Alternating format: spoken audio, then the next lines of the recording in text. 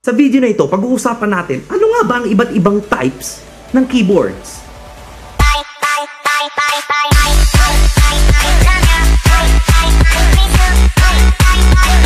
Hey! What's up sa inyo mga caveman? CJ nga pala. Sa channel na to, gumagawa ko ng mga tech-related videos.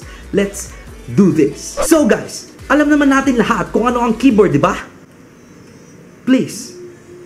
Okay, so para sa mga hindi pa nakakalap, meron tayong iba't ibang uri or types ng mga keyboard.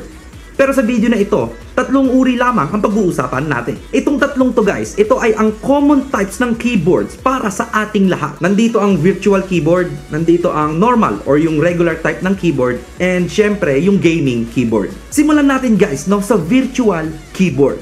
Okay, so napaka self-explanatory nito. Ang virtual keyboard ay ang keyboard sa phones, tablets, or iPad nyo. So basically guys, ito yung mga keyboard sa tabs or sa tablet or sa mga smartphones no natin. Meron din namang virtual keyboard ang mga laptop na touchscreen. Actually kahit desktop or yung normal na laptop, meron din itong virtual keyboard. Kaso nga lang ino-on or kumbaga eh parang optional lang ito. Ito ay ang tinatawag nating on-screen keyboard. Anyway, though most of virtual keyboards ay maliliit and hindi mo pwedeng i-customize, maganda naman ito since built-in ang mga keyboard sa smartphones or sa tablets. Isang kagandahan nun guys is maaari nyong ibahin ang language ng keyboard nyo from a US standard keyboard or yung mga normal na keyboard papunta sa Korean, Japanese, and etc. Ang price ng virtual keyboard ay wala, libre lang.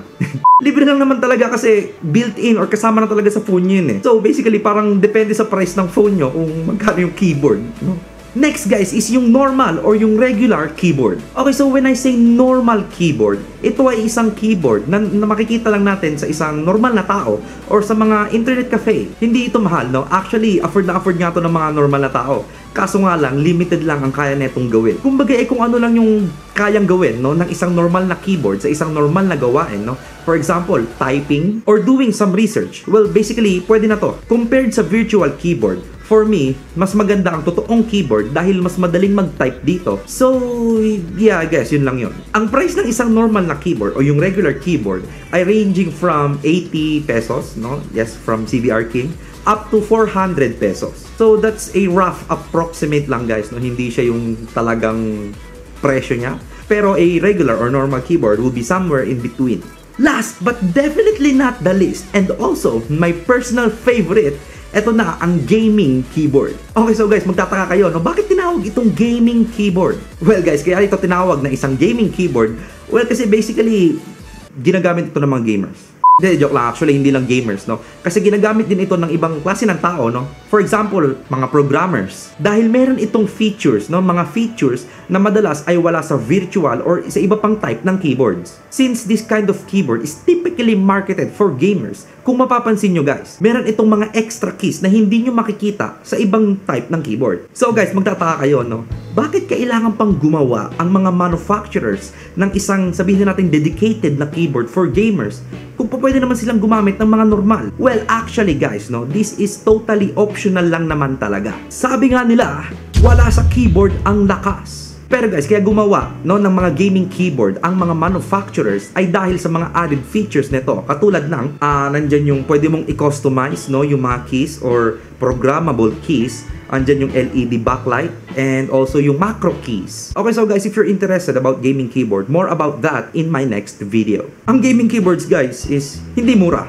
No? Talagang mas mahal ito sa mga normal type ng keyboard. Ayun ay dahil nga sa mga added features na meron dito, no? such as programmable keys, no LED backlight and yung macro keys katulad ng mga sinabi ko kanina. Ang price ng isang gaming keyboard guys ay Well, hindi ko alam. Pero guys, no, kung magbibigay ako ng price range, no, siguro starting from 1,500 pesos or 1,500 pesos up to roughly 12,000 pesos. Again guys, price may vary depende sa brand, sa features, and etc. Bakit ko nasabi na 12 up to 12,000 no kasi guys yung keyboard ko hindi naman sa pagmamayabang eh nagre-range siya hindi naman nagre-range no nasa maaabot niya na yung 10,000 pesos no na price range, price mark.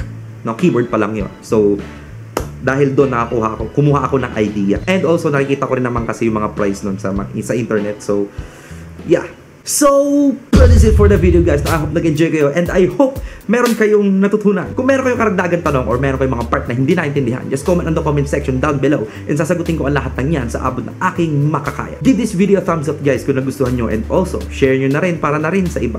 Subscribe kayo sa channel guys kasi gumagawa ako ng mga tech related videos. Well, so nga pala guys, no? just click or tap the first video kung gusto nyo mapanood ng latest upload ko or click or tap the second video naman para mapunta kayo sa playlist ng iba ko pang tech related videos. Once again guys, my name is CJ na nagsasabi sa inyong don't skip ads.